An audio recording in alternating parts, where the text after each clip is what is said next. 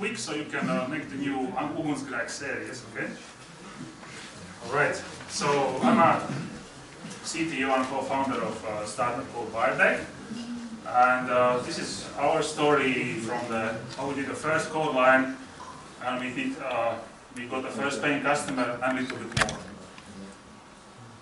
So just a little bit about the products, you got some impression what we're doing. So the Birdec is a, a, software as a service, it's a web application which helps uh, business-to-business -business sales guys to manage the complex deals and uh, helps to more effectively communicate with their buyers and in essence, as a marketing message, we say you close more deals and close them faster. I'm not going to go into much detail because it's really niche product. It's for B2B sales guys, but in essence, what you do, you when you have a new deal, let's say LinkedIn wants to sell sell a service to General Electric, you create a, a buyer portal, you put all the uh, relevant content like uh, some case studies, some marketing materials, you might put some proposals and so on, you invite all the stakeholders, you put some nice welcome message, and you invite all these guys, and hopefully they will view it, uh, check all the content, you see all the analytics, what they're doing, and after that you can uh, start collaborating, chatting, sending messages, and, and that really speeds up the decision-making process in a, in a buyer side. So the team, and that's really important. Uh, we are two co-founders at Birdec. I met uh, Gerald, he's there, hiding. uh, we met, uh, he was a seller at Rackspace and I was a buyer back in for finance and we closed a pretty big deal and, and during that process we kind of realized this, this whole process kind of sucks, you can do, do something better. So we, at almost two years ago, we simply left our kind of safe jobs, but you know, after this all this crisis, you know, there's no safe jobs, just, they're just jobs.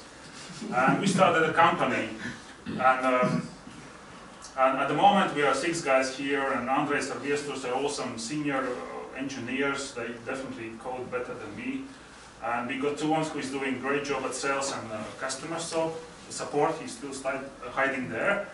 And we got uh, Jurgis, a completely new guy who didn't know anything about coding, I would say. And in one year, he might be coding better than I do, maybe. Let's see.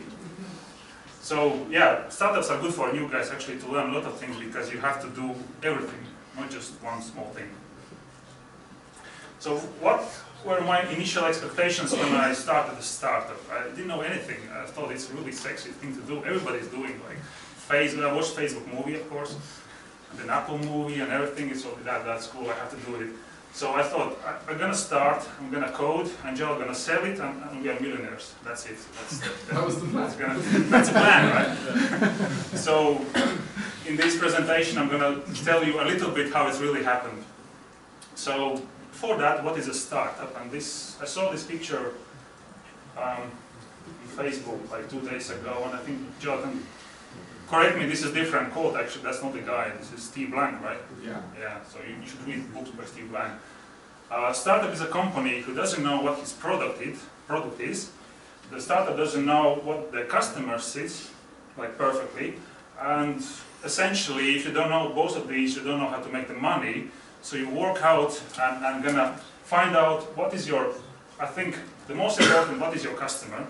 You know your customer, you can understand what is his problems, then you build a product for these problems, and money will come. Yeah, don't start with money, I guess. So what, what's really happened at uh, Birdec? So we established company in uh, June 2013. It's a, it's a UK uh, company, but the, most of the thing is still uh, maybe forever in Latvia. And first six months was nothing. We built a product, like coding, coding, shipping, excited, few parties and it's going to make, it's going to be huge and, nothing happens. Like you look at uh, several logs and they're like silent. And you got 10 entries and ooh, the best day ever. so yeah, that was, but it, it wasn't depressing because it's only six months, you know. and then after six months, on the 1st of January, we, we said, okay, this is the first beta version. It, it's launched. We, we published everything on LinkedIn and Facebook. This is the first version. But, well, this, these graphs are number of projects created, and it's not millions, right? so uh, nothing, not much happened really. A few guys were coming and then just left and never came back. So you phone them and they don't even pick up your phone. So yeah, so we keep, kept going and, and we lost at this point, I think, half of the team, right? Yeah. They all quit. It was very, very depressing moment. So if you're depressed at six months, just keep going because it's good, I guess. And then uh, we got accepted to London uh, Seedcamp months, ago, months after this period. We went there, presented our startup, met, met few investors and, and potential customers, but we didn't went through to next level and we again, another failure for the startup, but still just keep going. So we kept coding for next six months, deploying. And what you realized even before these six months that you have to really understand your customers. So my co-founder Gerald really following this uber cool book called Rob Fitzpatrick Mom Test. Definitely read this book. Um, he went through all these interviews and interviewed like 120 sales guys and he really understood what is what are this, their pain, what should be focused on. Because initially we built something and we were trying to push those sales guys to use our solution. You should do vice versa. You understand their problem and build solution for that. So in one year we started, uh, I guess we simply ran out of finance, right? And, and we started to raise money. And we got like, ups and downs every day and we got some nice offer, kind of nice from uh, some VC and they said, okay, we're gonna put into you really big chunk of money and you're gonna grow the company. But looking at the graphs, it's, the company wasn't growing like exponentially, just little bit, little bit. And, and we kind of understood that this, this is too early. So if you take too much money in the beginning, you're gonna kill your company because VC will call you almost, I guess, every day and ask you why didn't you close this deal, why didn't you close that deal? Because your product sucks, probably. You don't know what you're building still. And finally, well not finally, right now, it's um, in uh, this year, maybe two months ago, we, we really deployed the product which we are kind of proud of. We see engagement going up, and this is this is December, right? This this really sucks for B2B. Everybody's in, uh, building Christmas trees and presents and so on. But, but after in January, everybody's coming back to the office and, and they saw the new new version of the product and they really loved it and, and they're starting to use it and we see like not really exponential growth, but it's more like 20% per month, which becomes exponential once you really grow. Uh, and that's the number you need to really go for the investment. Because if you don't have a 15, 20 or more percent growth month to month, don't even talk with VCs. They don't want to see you. Most probably you're going to waste their time. So yeah, right now we are here, and next month's going to be something like here. So I hope next time not going to be enough space here to show our progress. So what we did, what we are doing to reach current uh, stage in our startup, and, and, and we are just to emphasize, we are not really veterans of the startups. It's the first startup we are doing, and there's still a lot of chances we're gonna fail. So it's still just uh, like a beginning of the startup. Basically, we code, ship, ship the software, and then we learn, and then we code.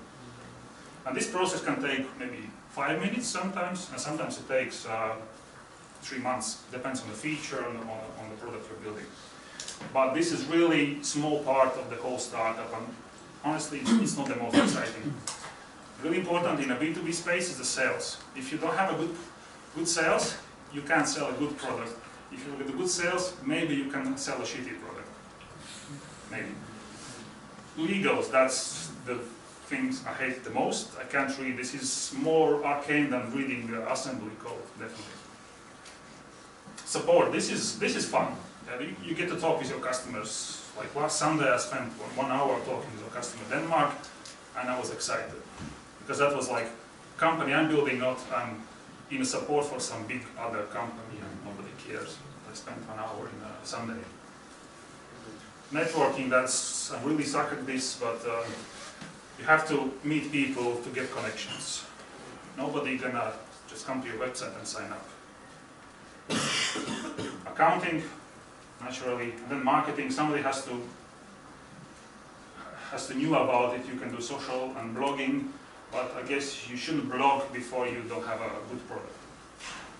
And then uh, uh, when the final is a fundraising, Fortunately, I'm not doing this, uh, Gerald is doing, but this can take eat all of your time and nerves.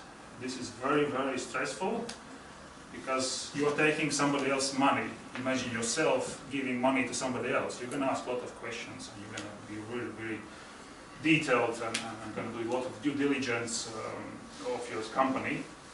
But um, yeah, it, it, and actually it can take like, we expect it takes three months, it takes like six months, sometimes it takes even more. So be prepared. Once you start fundraising, hopefully there's some other guy in the startup who can do product development because everything else will stop. And like small pieces of vision, even if you do these short cycles of code, ship and learn, you have to think about where you're going to be after a year, two, and five years. Like you're going to take over the world. You're going to be next Facebook or something. Because investors really like that. But in next uh, slides, I'm going to talk about this uh, small kind of piece. So coding. We have web application, we do coding, and, and we have a backend. And when we started, we said, okay, let's, at least in the backend, select the tools we, we know, because this piece has to work. Otherwise, you screw up the data, and security sucks and everything. Just, just take what you know. And we took technologies that we knew from previous jobs. Actually, that was Java 7, but we migrated to Java 8 in uh, like three hours. Um, we picked Spring, Spring Boot, very easy to, to start the containers, Gradle for build system, and a lot of other technologies. Um, but to keep things fun, we also selected some new technologies like Mongo. But after we presented we are using Mongo in a Tech Hub, which is a startup community, we realized that Mongo is not sexy anymore because they have been using it for a few years already. Uh, then we also chose uh, Firebase, which is a real-time communication slash database solution we are using for chat, live pitch, uh, screen sharing, all these functionalities. One thing I really regret, we selected Groovy. We thought, yeah, let's, I mean, we're a startup, we have to write code very fast. But Groovy is that fast. I mean, the new employees come, they couldn't understand my Groovy code, so we just deleted it and then we're writing uh, old school Java and it, and still works today. And architecture, there's no architecture. There's just REST and API endpoint that say get project, get all the projects for the user. It calls simple logic, uh, some repositories, some transformations maybe, and it calls Mongo, and that's it. Sometimes we call some email services or really in a synchronous mode. Because once you have one request per day, you don't need in, uh, message queues and all that fancy architectures or Redis. We are ready to scale, but initially just don't spend time on these fancy architectures. No microservices, please. Okay, and then UI. UI, that's real itch. Um, UI and UX is really hard. Even design is not that difficult, or you can hire a designer. What you're going to tell to your designer? Build me a screen, or what screen? He will build a nice screen, and users want to understand it. So really need to, understand the UX, how the user is going to go through your system and do what you really want to do them. So sign up, create a project, share with the customer, customer opens a link and views the content and shares and comments and, and the sales guy is really happy. Uh, this is still the, the, the, challenge we are facing and, and, and, trying to solve. So this, the whole web browser, JS, uh, JavaScript, CSS, that's a big mess. We didn't have any experience before. So we had to learn, and, and my first version of application is so bad I, I wouldn't show it here. It's like it's deleted completely. So only after one and a half year, I feel like, and my team feel confident that we know the JS and CSS and HTML, and we can build something really fancy. So we pick a tools, Angular and Twitter Bootstrap, which brings you know some kind of structure, so you don't build this some crazy jQuery spaghetti code. We still use jQuery, of course, against Angular philosophy. But they have really helped, really helped. Our testing, sometimes we test our code.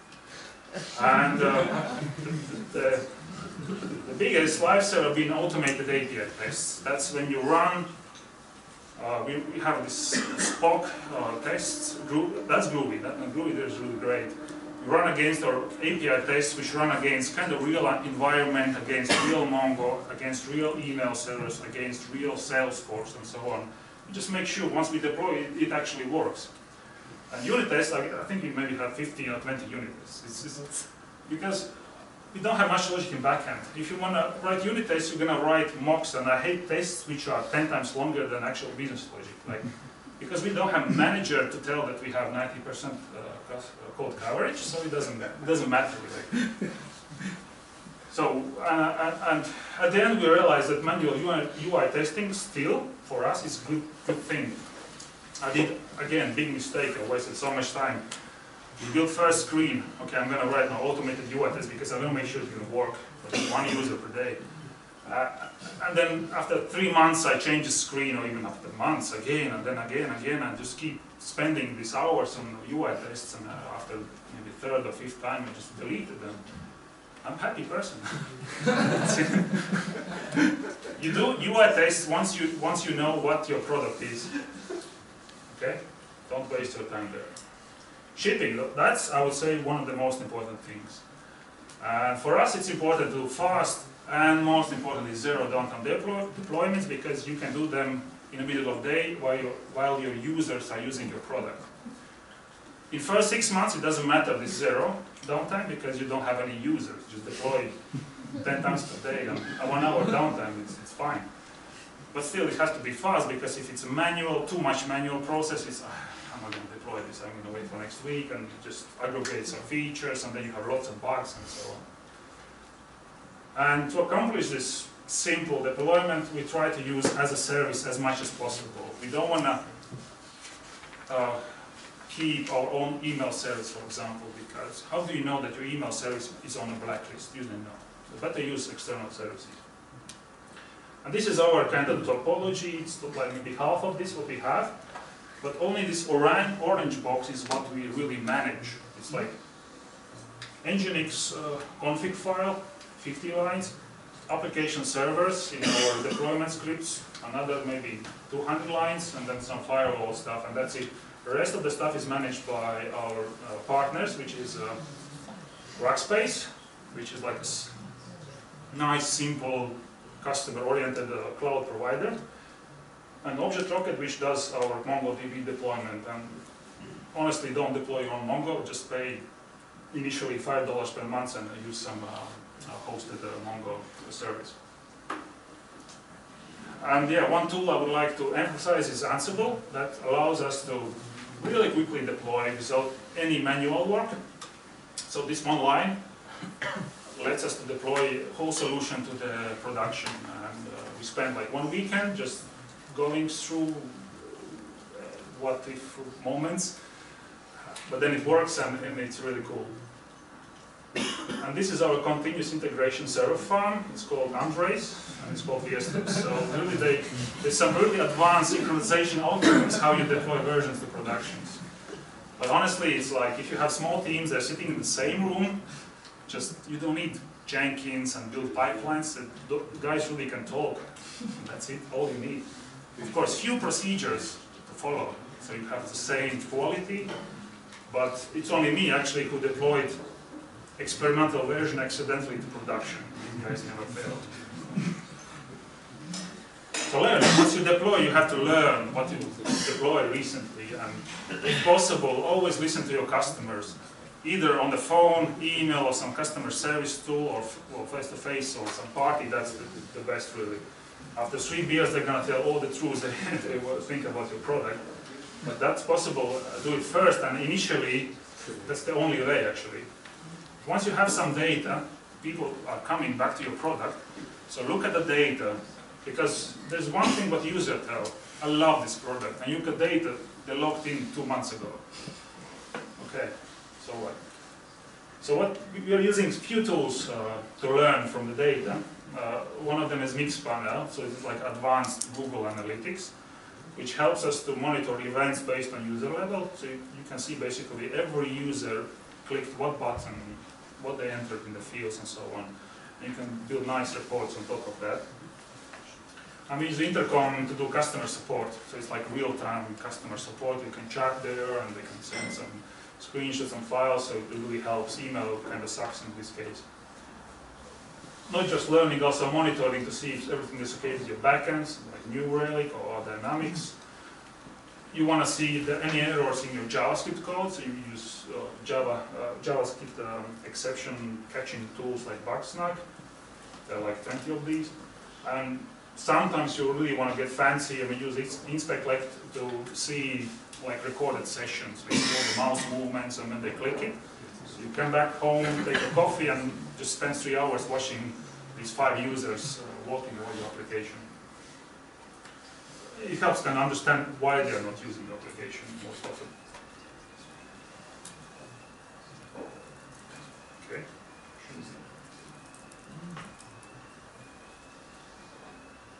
Help me. I don't know Mac. It was working with the keyboard, just pre- presenting and the keyboard. Yeah, just use this. Sorry guys. So this is my Mixpanel. We use this called funnels. We have some initial uh, event and then we see how many users actually do something else.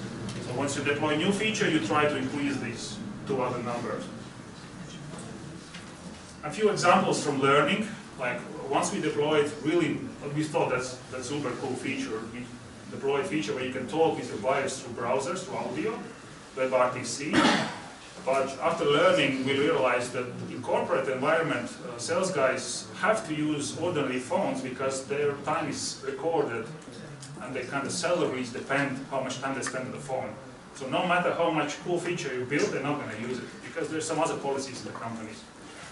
And sharing, like initially when we built a product, nobody was sharing the project with other buyers. And so we, we kept just adding, adding extra, extra pop-ups, like annoying pop-ups, but they work. And yeah, works. And at the end, we got like two, three hundred percent increase in this uh, feature usage.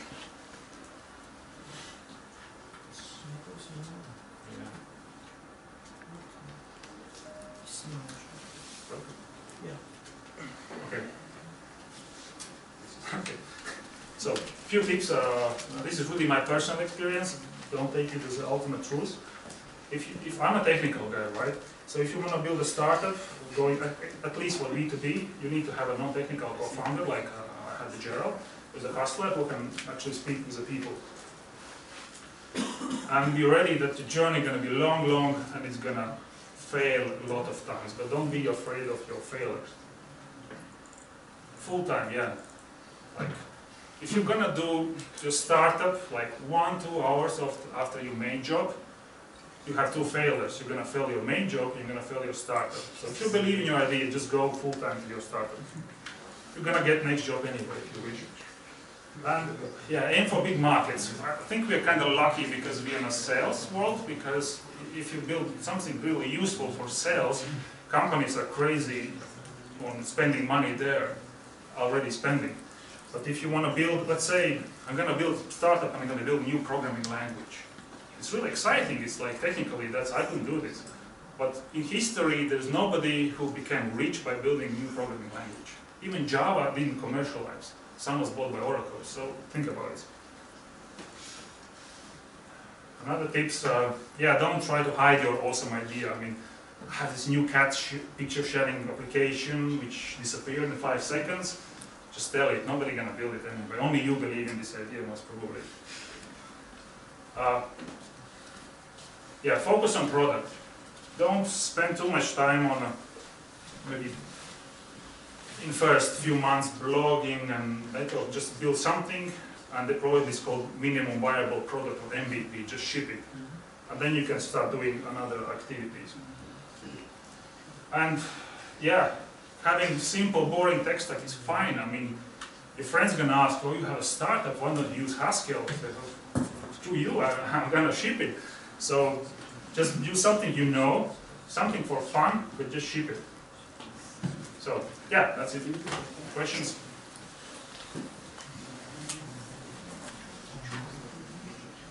Okay, this is uh, our team at TechHub. Really nice place to build your startup. Thank you.